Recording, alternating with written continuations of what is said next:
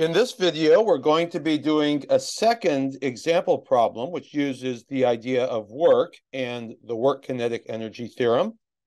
The work kinetic energy theorem says that the change in the kinetic energy of an object as it goes through some process is the total work done on that object by all forces acting on the object as the object goes through that process. To apply the work kinetic energy theorem to the problem at hand, we're going to be following the steps on this procedure handout. This is available in the module introduction. Here is the problem we're going to be working on. We have a mass which starts at a speed of zero at the top of an incline, and this mass is going to start sliding down the incline as the mass is sliding down the incline, we have a rope attached to the mass, and then up here we have somebody pulling on the rope. So whoever is pulling on the rope here is trying to control the mass so that it does not slide down the incline. However, whoever this is just isn't strong enough, and the mass continues to slide down, getting faster and faster as it slides down the incline. So at the top of the incline, the speed of the mass is zero. At the bottom, we have a speed v final equals three meters per second. The distance that the mass slides down the incline is given by, well, here, this is the magnitude of the displacement equal to four meters. The mass is 150 kilograms. And given the final speed of the mass when it gets to the bottom of the incline and this other information, we're going to try to find the tension that was maintained in the rope here as the mass was sliding down the incline. So let's go to the handout.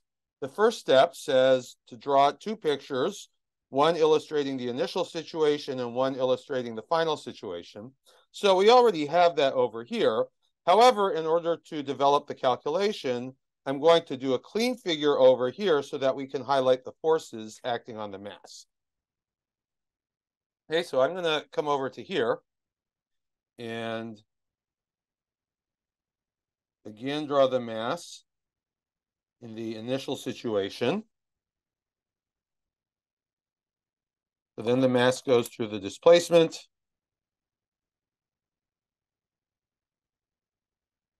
So here's our displacement vector. And this would be the final position of the mass here.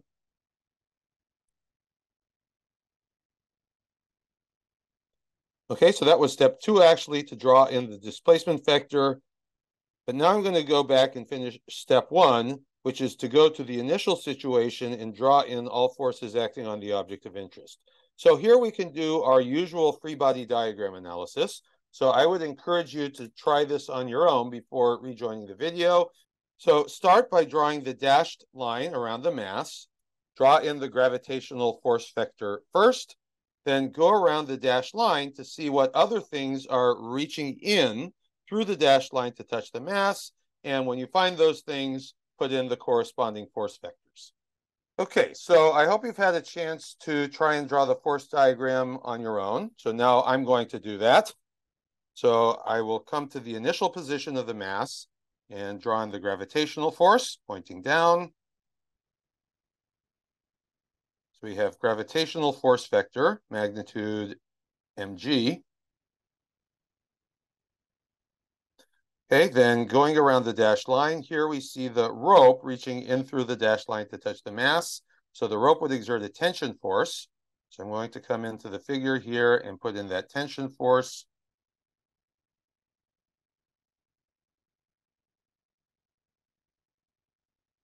And I want to point out, as we see in the picture, the rope makes a 20 degree angle, not with the horizontal, but it makes a 20 degree angle with the direction of the incline.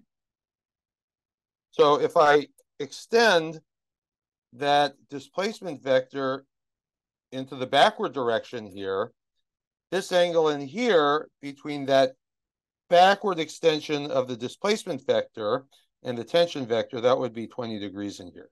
So we're going to need that later.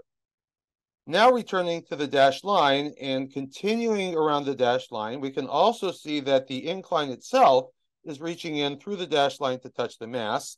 Since we are given that this is a frictionless incline, the only force that the incline exerts on the mass would be a normal force. So I'm going to go into the figure and put in the normal force.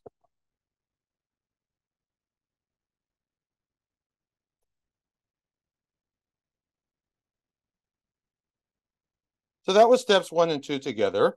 Now we're going to go to step three. Separately compute the work done on the object of interest by each force acting.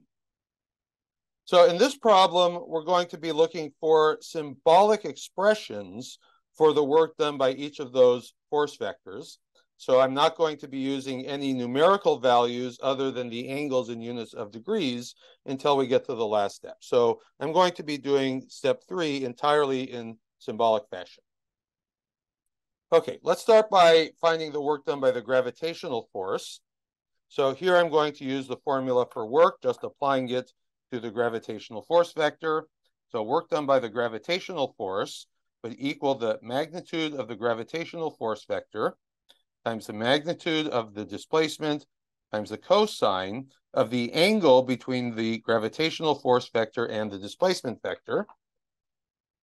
Now, what would that be? Here, maybe pause the video and see if you can figure out what that angle would be before rejoining the video. Right, so I'm going to come to the mass here and draw a horizontal direction, just so that we can see the angles better. And I could draw in that same horizontal in the original figure. Now, what would be the angle between the horizontal here and the incline? Here we're going to use alternate interior angles. If this is 30 degrees here, this would also be 30 degrees.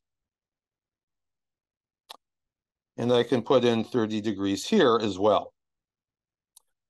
Okay, so from the horizontal here down to the gravitational force, that's 90 degrees. So if this is 30, this must be 60 in here.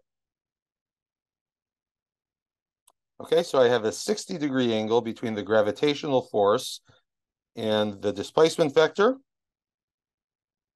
And now just to work on this expression a bit more, the magnitude of the gravitational force is m times little g. So now I have an expression for the work done by the gravitational force. Okay, now I go to the work done by tension. So work done by tension would be, right, using the formula again, magnitude of the tension force, magnitude of the displacement, and then the cosine of the angle between the tension force and the displacement of the mass. Here, this would be another opportunity to pause the video and see if you can work out that angle on your own. Okay, so notice that between the displacement vector and the direction opposite to the displacement vector, that entire thing there would be 180 degrees, right? So if this is 20 degrees, what do I have to add to 20 degrees in order to get 180? Well, that would be 160. So the work done by tension would be magnitude of tension, magnitude of displacement times cosine of 160 degrees.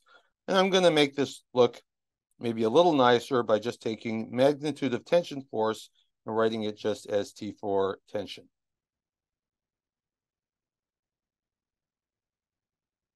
Okay, so now I have the work done by tension. The last force in here is the normal force. The work done by the normal force would be magnitude of normal force times magnitude of displacement, and then cosine. Now, what's the angle between the normal force and the displacement vector? Well, those two vectors are perpendicular. So this would be cosine 90. Cosine 90 is zero.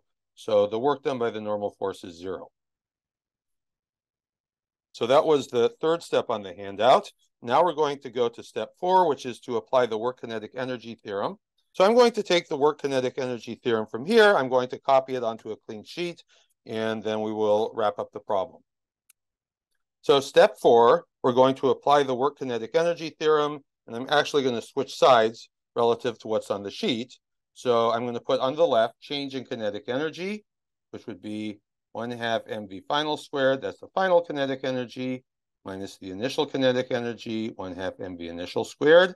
that's equal to the sum of all work done on the object by all forces acting. To evaluate this sum, I'm just going to take the expressions we got here, here, and here for the work done on the object by the three different forces acting. That gives me, okay, copying down the left side, and on the right side, I'm going to add these three terms together. So I have mg magnitude displacement cosine 60 plus magnitude tension magnitude displacement, cosine 160, and we don't really need to show the addition of the zero. So let's just stop there. All right, now I'm trying to solve for tension. Now the initial speed is zero, so that can go away.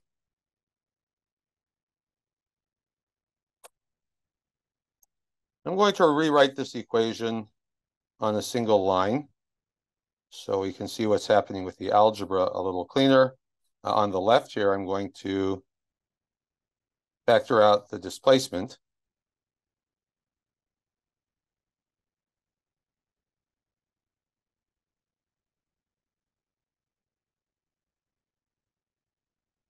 Okay, so now we want to algebraically isolate the tension. We're going to work symbolically until the last step and then substitute numerical values along with units.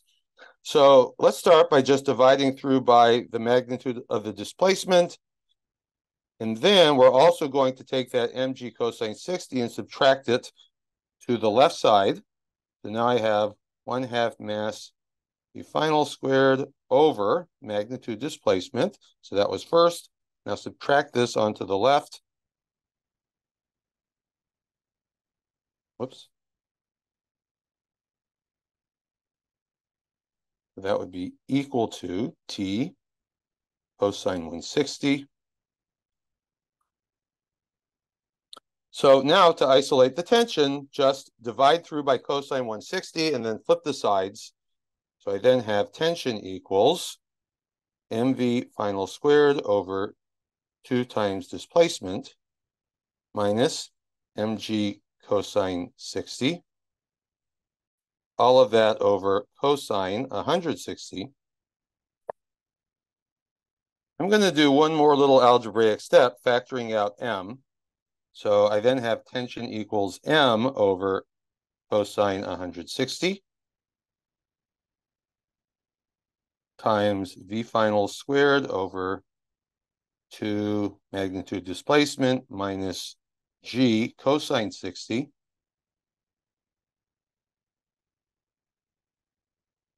Substituting now, the mass is 150 kilograms.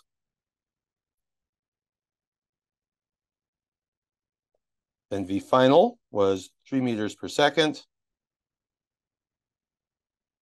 I'm squaring that. I divide by 2 times 4 meters.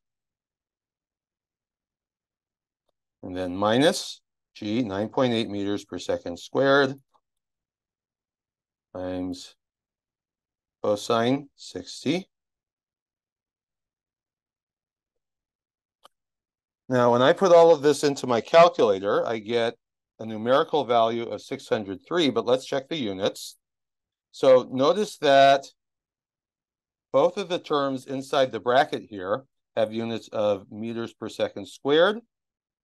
So we are multiplying meters per second squared times kilogram. A kilogram times meters per second squared is a Newton which is the unit we would expect for a force. So our answer is tension equals 603 newtons. And now we have done our second example problem using the work kinetic energy theorem. In the next few videos, we will be taking the work kinetic energy theorem as our starting point. And from that starting point, we are going to develop a whole new way of thinking about motion.